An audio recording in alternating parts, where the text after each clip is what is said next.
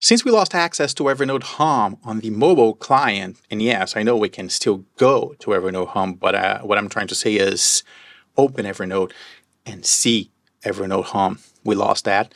Since we lost that, uh, I've been trying to make the desktop client and the mobile client kind of deliver the same type of information because uh, the desktop, when I'm using the desktop, uh, I always start at home.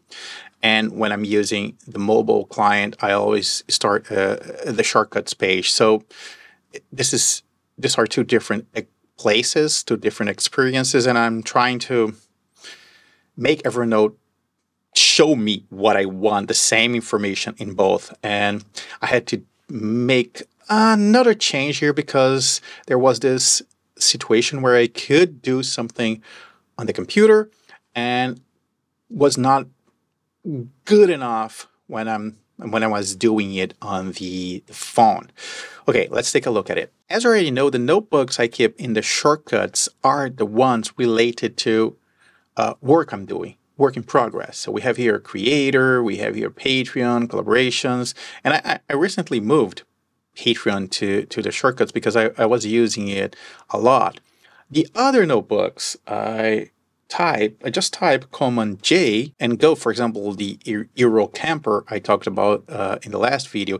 You can do the same on Windows using Control Q. So I can switch to a different uh, notebook from here. It's easy, just click here and go to the to the notebook. However, there's no way to do it here. Let me show you what I mean. Oh, but before that, I have a gift for some of you. If you use my affiliate link below, you'll get a 15% discount when upgrading from a free account to a one year personal account. So if you were looking for a good deal, probably this is the moment you're waiting for. There are some terms and conditions. Please check the description below for more information. Okay, if I'm here, let's say I'm at the shortcuts page here, and I want to go to that camper van uh, notebook. Let me show you the steps. First, I have to tap notes because I don't have the notebooks here. Shortcuts are here at the navbar and then notebooks and then look for or type here the name or, or scroll down and whoops, just made a mistake. Let's go back and here and go to that. It's not really a lot of steps, but when you just want to take a note, and this happened the other day. I, I, I wanted to, I, I saw a, a camper that I, I, I found interesting. I just wanted to write down the name and I had to go through all these steps to get there. And if you if you just want quick access, it's not it's not good.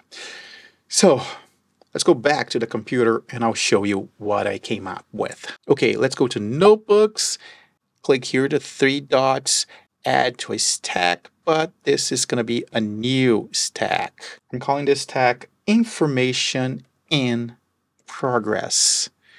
Create uh, I'll add the Apple II here, then my book here. What else can I add? Knowledge base here. Are you getting it? It's not only projects, it's things that I use frequently, but not necessarily projects. Okay, I guess that's it. And now I can move this, let's say, to this spot here, and when I need this, all I have to do is expand it or collapse it when I'm not using it. Hold on, don't type that question just yet. You're probably about to ask me, why not just add the notebooks to the shortcuts area? That will be an option, but uh, what I want to have in the shortcuts area are the notebooks I use a lot. Uh, the other ones uh, that I use more or less I, uh, I was happy with the Command J on, on my Mac or the Control Q if you are a Windows user because that was just one one step. Just type the name of the start typing the name of the notebook and go to that notebook. That that was okay with me, but I don't have that option on my phone. And the problem I was having was the phone. I needed a way to uh, to have access, uh, a quicker access to those notebooks without polluting my shortcuts space. So the, the stack is this middle ground. I can have this all this uh, notebooks inside the stack and keep the stack collapsed inside the, the shortcuts area. And when I need it on my phone, I just tap open and go to the to the notebook. And since I, I'm creating it, why not add the other notebooks? And uh, I needed a name, and the other day I was thinking about this situation, and I came up with this name because these are really ideas that I'm having. Eh, they are not always projects; they are ideas that are in progress.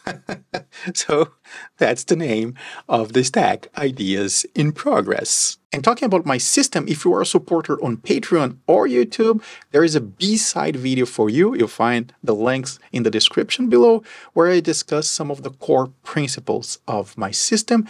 And I also show the progress of my book, which I'm not calling a book anymore at least for now. if this one was helpful, I'd appreciate a thumbs up. And if you like what I do here on the channel, please consider subscribing. It helps a lot. Thanks for watching. See you soon.